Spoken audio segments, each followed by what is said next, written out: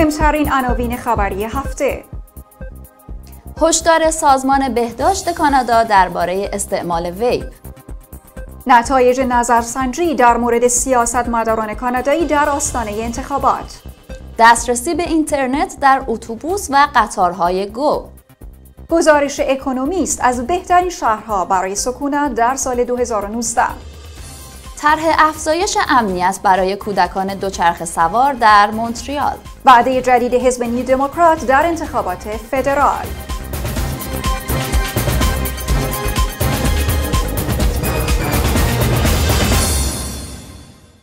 سلام وقت بخیر. به کانادا هفت از شبکه AMG خوش آمدید. در این برنامه مروری خواهیم داشت بر مهمترین عناوین خبری کانادا در هفته ای که گذشت. سلام امیدوارم که تا پایان کانادا هفت همراه ما باشید. به گزارش سازمان بهداشت کانادا استعمال vape خطر ابتلا به بیماری های تنفسی را در پی خواهد داشت.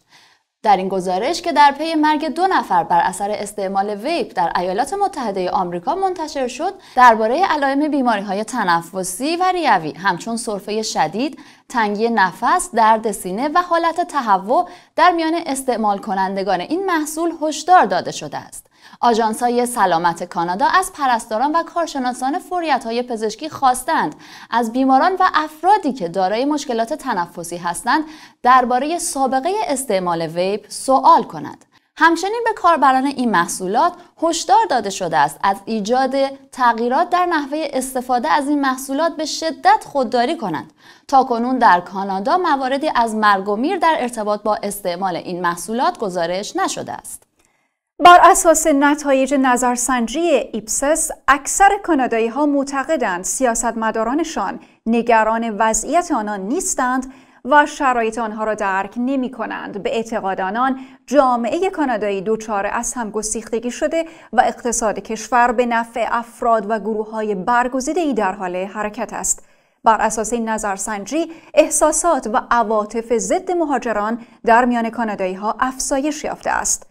بر اساس این گزارش که روز پنجشنبه 5 سپتامبر منتشر شد 41 درصد از شرکت کنندگان معتقدند مهاجران مشاغل و خدمات اجتماعی کلیدی را از کانادایی های واقعی رو بودند این یافته ها نتایج بررسی انجام شده در 27 کشور از تاریخ 22 مارچ تا 5 آوریل 2019 است. از سال 2020 مسافران اتوبوس ها و قطارهای شرکت گو قادر خواهند بود به اینترنت پرسرعت دسترسی داشته باشند.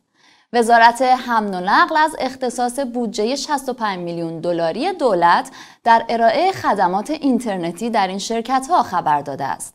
قرار است تا پایان سال 2020 همه اتوبوس ها و قطارهای گو به اینترنت پرسرعت مجهز شوند. مجله اکونومیست لیست قابل سکونت ترین شهرهای دنیا را در سال 2019 منتشر کرد. شهر کلگری کانادا در رتبه پنجم این لیست قرار گرفت که نسبت به جایگاه آن در سال 2018 یک رتبه پایین تر بوده است. ونکوور رتبه ششم و تورنتو در کنار توکیو رتبه هفتم ده شهر برتر را کسب کردند. شهر وین در اتریش نیز برای دومین سال متوالی رتبه نخست این لیست را از آن خود کرد. شاخص ارزیابی اکونومیست پنج فاکتور ثبات، مراقبت های پزشکی، فرهنگ و محیط زیست، تحصیلات و زیر ساخت هاست. شهر کلگری کانادا در هر پنج شاخص بجز شاخص فرهنگ و محیط زیست امتیاز کامل صد را کسب کرده است بر اساس این گزارش در حالی که ده شهر برتر نسبت به سال 2018 تغییری نکردند امتیاز کلیه شهرها در هر شاخه نسبت به گذشته افزایش داشته است حزب آنسامبل در مونتریال از طرح خود برای افزایش امنیت کودکان دوچرخه سوار در این شهر خبر داد. در این طرح قرار است استفاده از کلاه ایمنی برای دوچرخه سواران زیر 18 سال اجباری شود. بر اساس گزارش بخش سلامت دانشگاه مگیل صدمات و جراحات. از ناحیه سر معمولترین نوع جراحت در بین دوچرخه سوارانی است که دچار سانحه شده اند این حزب همچنین ابراز امیدواری کرد که بتواند مقامات مونتریال را متقاعد کند که این کلاهای ایمنی را به صورت رایگان در اختیار خانواده های کم درآمد قرار دهد. قرار است این پیشنهادات در جلسه شورای شهر و شهرداری مونتریال در تاریخ 16 سپتامبر مورد بررسی قرار گیرد. و در پایان حزب نیو دموکرات شعار انتخاباتی خود را اعلام کرد. حضور در انتخابات به خاطر شما. جگمیت سینگ رهبر این حزب در تبلیغات انتخاباتی جدید خود اعلام کرده است که با رهبران سایر احزاب متفاوت است نه به این خاطر که اولین رهبر یک حزب اصلی است که از بین های کانادایی به رهبری رسیده بلکه به این خاطر که در جهت منافع ثروتمندان و افراد برگزیده کار نمی کند. آقای سینگ اظهار داشت او و تمام افراد NDP در خدمت همه کانادایی ها خواهند بود.